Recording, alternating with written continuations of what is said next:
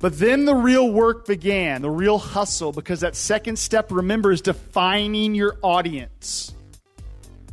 So we had to do a lot of legwork because the worst thing you can do as a marketer is think you know your audience without talking to your audience. It's the worst thing you can do because what will happen, you'll see in a little bit, change the perspective of what we did and what we created.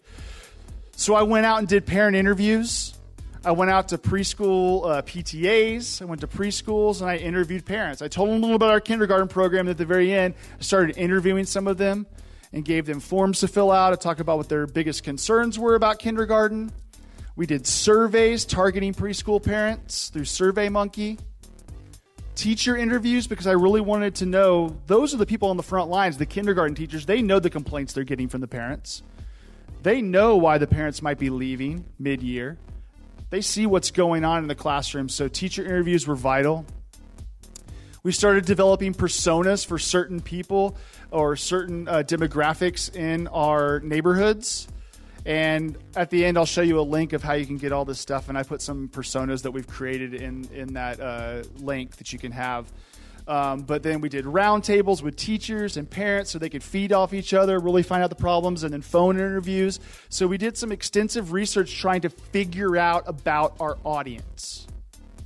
So from all of this, I pretty much found out a lot of pain points and aspirations of kindergarten or preschool age parents, what they wanted and what they were scared of. And a lot of things bubbled to the top. And we, uh, we thought, oh, let's talk about our innovative reading curriculum or how they're going to be learning math at, at an accelerated rate in our district. That's what the parents really want to know. But no, through these interviews, through these questionnaires, the biggest thing is they were scared to send their babies to kindergarten because of the basics. Where do I drop them off for carpool? I don't know. Am I allowed to walk them in the first day? Do they have naps? Do, do they do they do this? Do they do that? It was the simple stuff. What time do they eat? Can I bring their lunch? Can I sit with them at lunch the first week?